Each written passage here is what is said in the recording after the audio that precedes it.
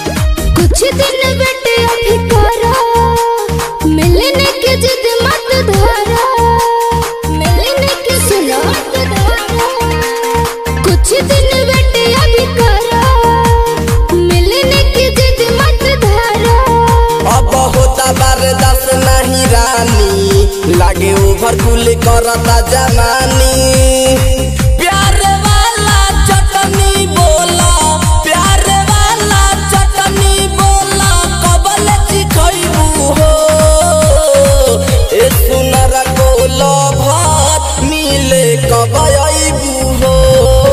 कहिया ले बोला हम